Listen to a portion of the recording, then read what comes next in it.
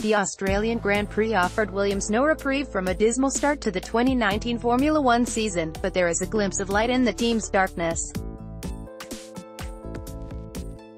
Williams' FW42 was late to testing, slow when it got there, and featured designs that needed to be modified to be legal in time for the season opener.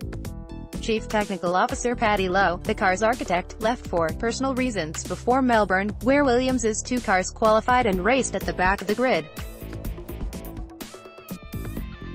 Nobody expected Williams to surge back up the order as quickly as it had fallen to last place in 2018, but to witness the third most successful team in F1 history making up the numbers was an uncomfortable experience.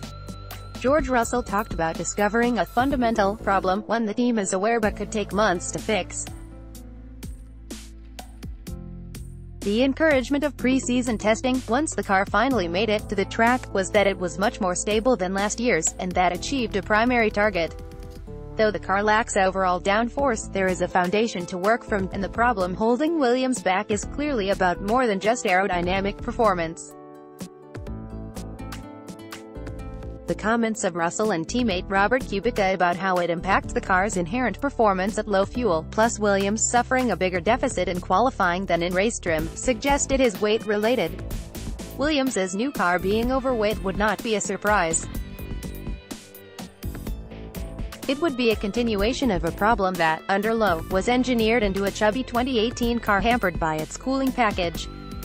The complexity of the Lowe situation, which must be linked to Williams' woes, is highlighted by the team not commenting beyond the personal reasons it described two weeks ago.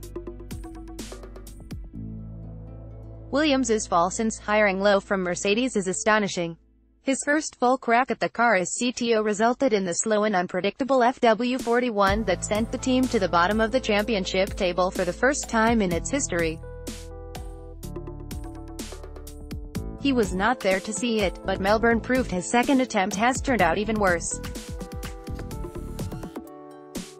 Whatever the shortcomings of Williams' 2019 car, and the consequences of redesigning illegal parts and making the car fit for purpose, a lot of hours will be logged in an attempt to recover the situation.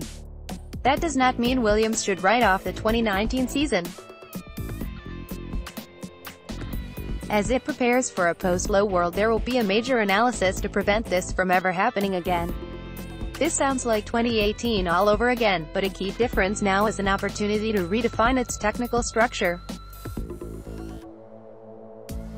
leaning on the likes of head of aero Doug McKiernan and encouraging young, hungry members of the design team to take on more responsibility could yield dividends, much like Williams enjoyed in 2014 and what Mattia Binotto inspired at Ferrari in 2016. Williams has talented people, but they need direction.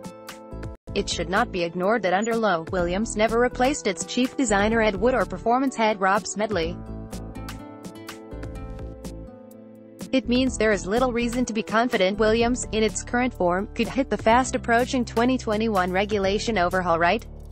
So, a logical solution would be for Williams to combine the work it does to improve this year's car with its 2020 design, using the current season as an extended testing period and treating it as one project. It can then set a trajectory to make sure it gets its house in order in time to nail the design of its 2021 car alongside the major rules change that can spawn an emphatic rebound. Williams has not made the most of its resources in recent years, but his has also not been helped by F1's shift towards regulations that support close alliances with bigger teams. It is no surprise to see Haas and Toro Rosso benefiting from their relationships with Ferrari and Red Bull, but would they have built faster cars than Williams if they were not using non-listed parts from bigger teams? The 2021 rules package is imminent, and what teams must build themselves will be a crucial component, setting F1's tone for years to come and playing a key role in whether Williams can bring itself back from the brink as a true independent.